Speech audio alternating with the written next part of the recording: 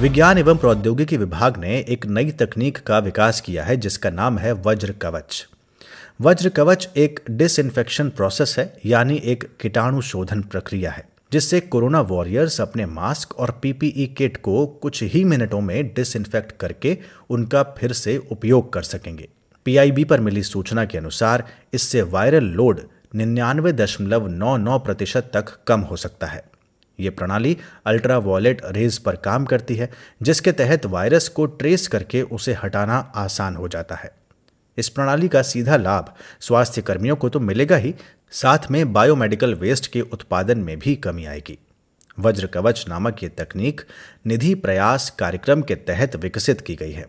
Nidhi Prayas department of science and technology की नवोन्मेष को बढ़ाने वाली एक राष्ट्रीय पहल है। तो ये थी जानकारी वज्र कवच के विषय में, और अब इस वीडियो पर आधारित सवाल। विज्ञान एवं प्रौद्योगिकी विभाग द्वारा विकसित वज्र कवच के विषय में कौन से कथन सत्य हैं? एक, ये एक कीटाणु शोधन प्रक्रिया है, जो पीपीई किट के पुनः उपयोग को सक्षम बनाती है। दो, इसे निधि प्रयास कार्यक्रम के तहत विकसित किया गया है। आपके ऑप्शंस हैं ए, केवल एक, बी, केवल दो, सी, एक और दो, दोनों सही डी, एक और दो, दोनों गलत। अपने जवाब हमें कमेंट बॉक्स में आप दे सकते हैं।